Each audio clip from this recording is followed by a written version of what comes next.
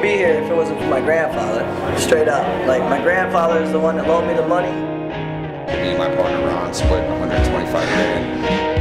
I would say everybody else sucks besides us. I was a cheerleader for the like national Beirut team or whatever. What happens the biggest stays in except that 50,000 I'm trying to take back.